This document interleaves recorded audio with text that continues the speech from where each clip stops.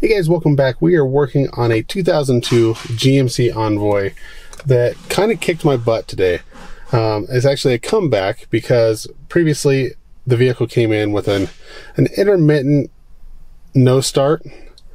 And the only thing I could find was low voltage at a couple of the fuses coming from the ignition switch.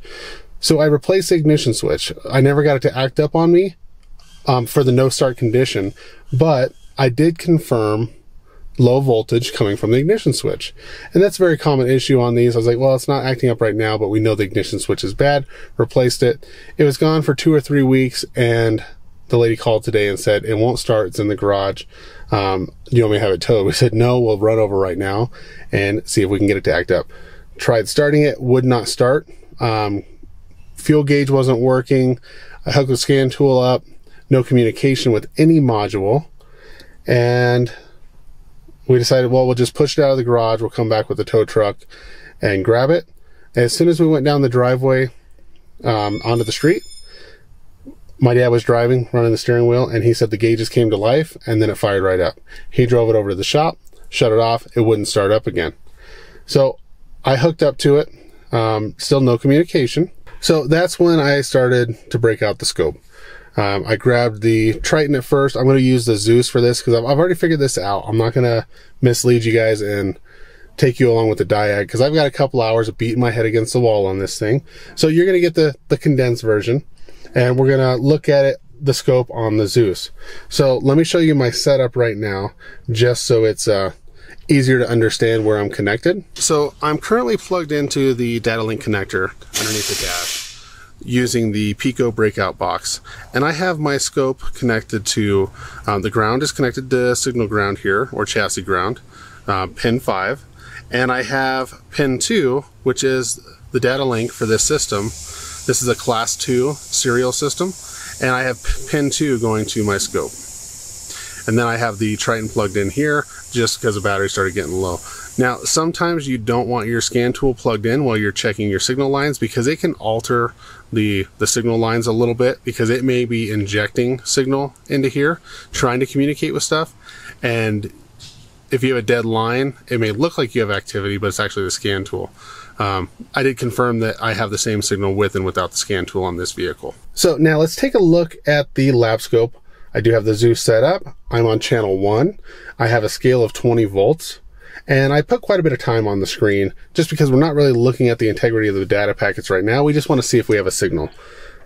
I'm going to turn the key on and we had a little bit of a signal and then it went to 10 or 11 volts. I just turned the key back off and we are still stuck at that higher voltage. So this is kind of weird because this is behaving slightly different than it was before I grabbed the camera. And I'm kind of hoping that we can get to the same situation that I had earlier that led me down a strange rabbit hole. But we'll, we'll continue on and we'll see if this will act the way it was acting earlier. But so right now we're sitting at 11 volts. Okay, it just dropped back down. We have communication again. Let me just go ahead and try and start it go to start it and we are right back up at battery voltage on our communication line. So there's a couple things we can do here. One of them is unplug modules one at a time, but an easier way on this older uh, GM system. I'm not saying this vehicle is old because I work on much older stuff than this, but it's a 2002. It doesn't have a CAN communication network. Everything's on the class 2 single wire communication network and they have these convenient things called splice packs.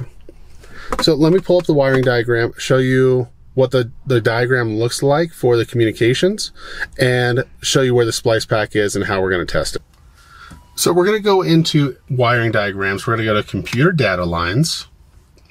And this is going to give us our network wiring for this vehicle. So we have computer data lines. Um, over here on the right side of the screen, we can see our data link connector. Pins four and five go to ground, which I'm surprised they go to the same grounding location. Normally one is a chassis ground, one is a sensor or engine ground. Uh, but this one, they both ground on the right side of the, the center console. And then here we have pin two, this purple wire. That's what I'm connected to with my scope and it comes over here to this splice pack. Now this splice pack says uh, SP205 splice pack 205. And then there's another splice pack that's tied into this splice pack, and it is number 206.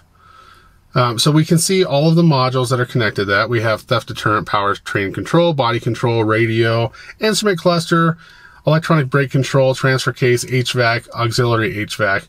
And then on this upper splice pack, we have driver door module, driver seat module, passenger door module, passenger seat module, radio amplifier, vehicle communication interface module, and liftgate module. Now, the liftgate module says with OnStar, which is kind of weird because this vehicle doesn't have a power lift gate, but it does have OnStar. So I'm not sure if it's equipped with this. I'm not sure if this little arrow is supposed to be over here with the vehicle communication interface, because this is normally what the, uh, what the OnStar module is.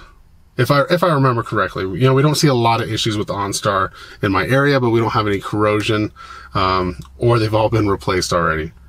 So that's what we're looking at. Um, real quick, I'm just going to see if it'll behave like it was earlier. Key on, and it's not doing it. It's just going straight to short. But I'll tell you, I'll tell you, if it doesn't act up, I'll tell you what was going on. So let's go ahead and take a look at this Splice Pack 205 and see if we can isolate which one of the circuits is causing this short to power on our communication network.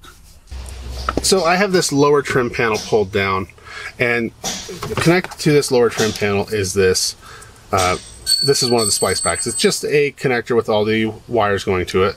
Now, when I pulled the security clip off of it, the splicing bar actually stayed inside of that connector.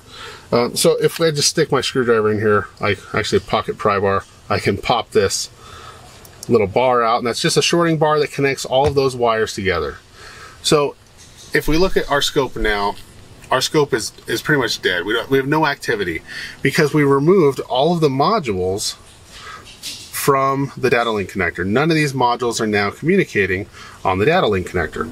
So what we can do from here is I'm just going to unplug my wire from the breakout box. I'm just going to put a little uh, wire adapter here. This is from AES Wave. And I'm just going to go pin by pin until we see if we have a communication line here that is shorted. And if we're lucky, we'll find out which one is causing our network to short to, to power. So I'm just going to go one at a time. Got a little spike. Every once in a while, that one spikes up, so we have communication there. Nothing going on there. Nothing there. Nothing there. Okay, that one right there, it jumped up to 12 volts, or almost at 12 volts battery voltage. Now that is a blue with a white wire um, the fifth pin over. So I'm just going to continue down the line to make sure we don't have more than one module causing issues. That one's good. That one's good. That one's good. A little bit of activity here. Good and good. So just this one pin, this blue with the white wire. Now let's go back to our diagram, see what module that goes to. So looking at our splice pack here. Um, the dark blue with a white wire is the bridge between splice pack 205 and splice pack 206. So this is where we need to go find splice pack 206 now. Um, if I click on this diagram using Mitchell here, it'll actually open it up. I normally don't open it up just because it's easier for me to, to scroll without clicking on it. But I'm going to click on splice pack 206 and we'll see if it gives us the location for it. Click on component location.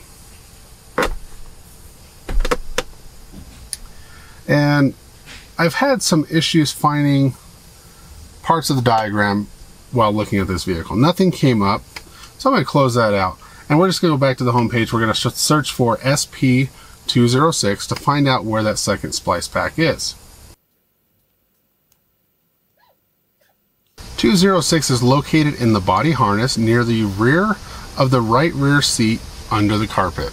That doesn't sound like much fun, so I kind of ignored this and uh, and looked looked elsewhere because there was junk in the back, there was junk on the seat. I skipped going to this splice pack. I probably should have just went straight here because it would have made my life a whole lot easier. Um, let me turn the key off. I'm going to see if I can get it to, to do what it was doing earlier. Um, we might get lucky, we might not. But I'm hoping that we can get lucky and get this to act up the same way it was acting up earlier, which will lead me to a very particular case of going down the rabbit hole the wrong direction. Nope, it's not going to behave. So what was happening earlier is the, the network went back to normal. Everything was working perfect. And I couldn't explain why. And I couldn't get it to act up until I opened the door and I I decided to check the wires in the door jamb because it in splice pack 206 so let's look at the diagram. Like I said earlier we have the driver seat module passenger seat module the both door modules um, the liftgate module OnStar. So I was like well easy to get to stuff that I can unplug see if my communication comes back. Driver door? Easy to unplug. Passenger door easy to unplug. Seat modules easy to unplug so I knelt down to unplug the driver door, and as soon as I touched the harness, I accidentally bumped the seat. As soon as it started to move, my network shorted to voltage. So I'm like, okay, well, was it because I touched the seat or because I touched the door jamb? And I got it to be very repeatable, and I'm not sure why it's not repeating now. But what would happen is as soon as I would move the seat cushion up or down, the network would short to power. So I unplugged the seat, and it doesn't do it. I cannot get this network to short to power. Very, very predictable. Over and over, I let the vehicle run for 20 minutes, wouldn't short, move the switch, nothing happens because there's no power to the switch. As soon as I plug that connector in and move the seat, that's when my network gets shorted to power.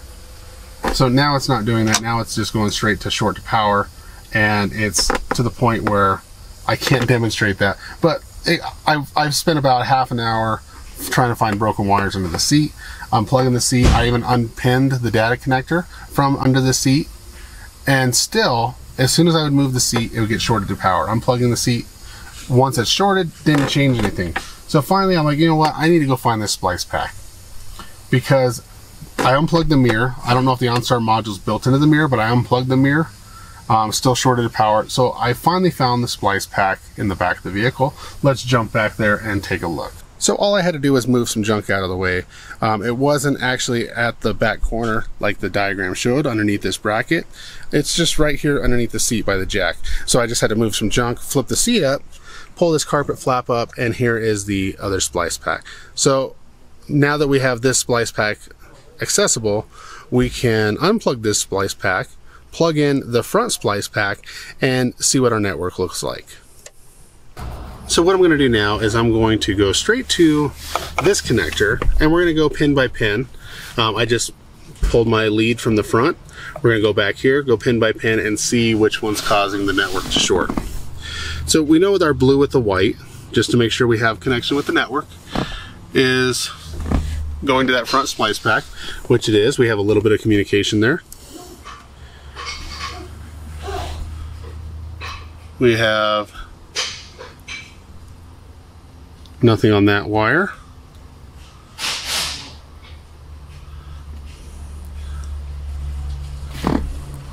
Now that wire has slightly elevated voltage, but I don't see any communication on it.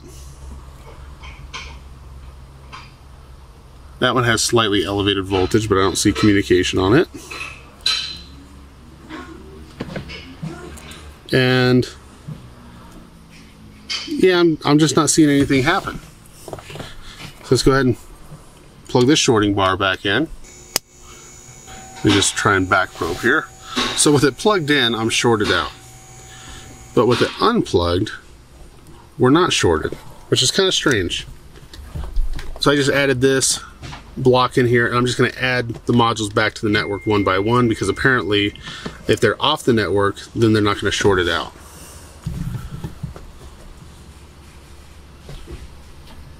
So we got regular communication there. Regular communication there. And as soon as I touch that terminal, the network gets shorted. Unplug it, it goes back to normal.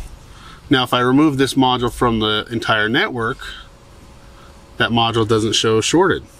So it's only once it's connected to the network that it shorts. And actually, I just added it back and it's not acting up.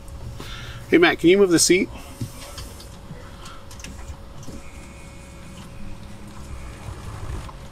Because that's not going to do it either.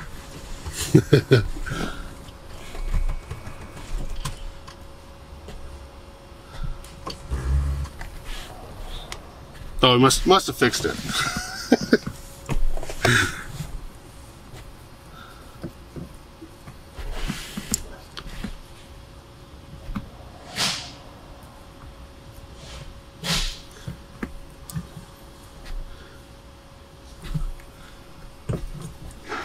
everything's good there now. Um, so I'm not sure why, but I know that I was plugged into this light blue wire. So this, this is where it's kind of frustrating because it's not consistently acting up the same way every single time. And it's this light blue wire right here. So let's find out where that light blue wire goes. So looking at this Splice Pack 206, the light blue wire goes to the liftgate module with OnStar. Now, ran into another snag here. Let me open up this diagram. We're going to click on the liftgate module, component locations, and it says liftgate control module, and it just tells us fuse block stuff. Um, a fuse that goes to the liftgate module, but I want to know where the actual liftgate module is, and it's not in here. So let's hit the back button. Let's go to remove and replace. That should tell us where it's at. And it doesn't. It switches to keyless entry. So what I ended up doing is I just went over to Identifix, punched in liftgate module, found out that it's in the trunk, in the deck lid. Okay, now sorry it's super bright behind me. Um, so what I did is I opened the deck lid. I pulled the wiring boot between the deck lid and the body because there's normally a connector somewhere you can unplug. And when I pulled it apart, I actually found there's several broken wires. So those broken wires were causing the issue and for some reason whenever I'd move the driver's seat earlier it would cause it to act up. Um, like I said I could run the vehicle for 20 minutes without it acting up at all until I moved the driver's seat and then now it's not even acting up at all which is kind of strange but there's the main power main ground is broken and this uh, this smaller orange wire, that's normally power wire as well. Uh, that might be ignition power, but it is broken. And I just have two wires still connected. So I'm just gonna go ahead and, you know, repair these wires and we'll test everything, make sure it's all good still and ship it. But earlier when it was acting up, if I actually just unplugged this connector, um, the problem would go away. So just kind of a strange thing, led me down the rabbit hole the wrong way and the good thing is now we found what it is and we can get it taken care of for the customer, get them back on the road. Now I know it's easy to say what you would have done or should have done, you know, after you've seen it done, but let me know in the comments down below the route that you guys would have went first if you would have went straight to that star connector, even if it required pulling out the back seat, I know this one didn't, but in the component locations, it showed that I would have had to pull the back seat out because it was behind the carpet underneath the seat back bracket. Um, or if you would have just continued to unplug modules until you found out what it was. Um, now Identifix, when I've just looked in uh, no communication, there was a long list of things from body control modules to driver door modules to PCMs, but there was several cases of liftgate modules on there. Since this vehicle didn't have a power liftgate, I assumed, um, shame on me for thinking that, but I assumed that there was no power liftgate module on this vehicle or liftgate module at all. And it looks like that liftgate module controls like the defroster and maybe the rear door lock actuator, and it's just communicated over the network to act activate those functions. So I'll go ahead and splice these wire up, wires up. Um, questions or comments, put those down below. Thanks for watching, and I'll see you next time.